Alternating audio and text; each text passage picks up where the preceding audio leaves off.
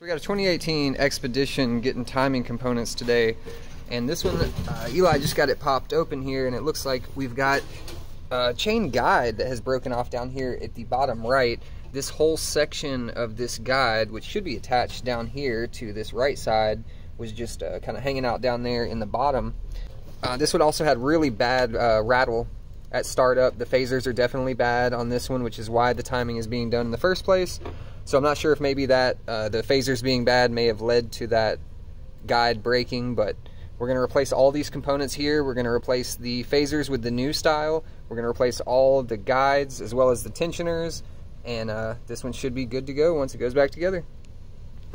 Just your regular maintenance on an EcoBoost. So here's something important to note anytime you do these uh, EcoBoost timing jobs. So there's old style phasers and new style phasers, and even if you get them straight from the dealership, these came right from Ford yesterday, and uh, we asked them specifically for the new style phasers, and still I got a set of the old style. So they actually sent us two of the new style, which is this enclosed spring style right here, and they also sent us two of the old style, which is the open spring phaser. These are the ones you do not want to install. Um, so what we're going to do is send them back. So anytime you order these parts through the dealership, you definitely have to check because they're still getting rid of this old stock.